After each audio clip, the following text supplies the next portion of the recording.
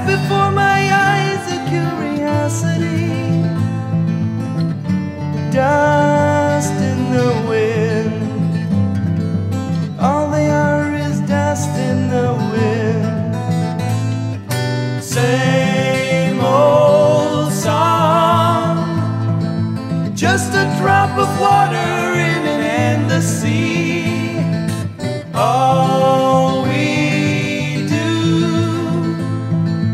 crumbles to the ground, though we refuse to see.